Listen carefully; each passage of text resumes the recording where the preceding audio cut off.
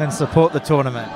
Um, get down. Number one, support the girls um, because um, we need it, and our sport's it's growing for us massively around the world. So, um, and then come and support the boys. But yeah, definitely get down there, and it's it's a great tournament to be a part of.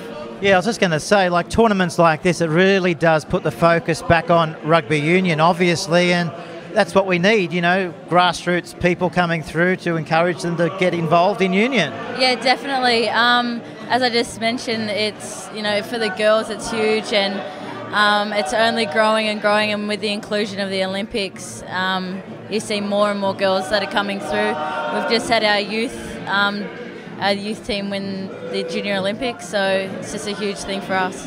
Is there one team that you might fear? Um, we don't we don't really fear anyone. Um, we're just up for, I guess, some really good competition. Alrighty, well, best of luck and we'll see you out there. Thank you.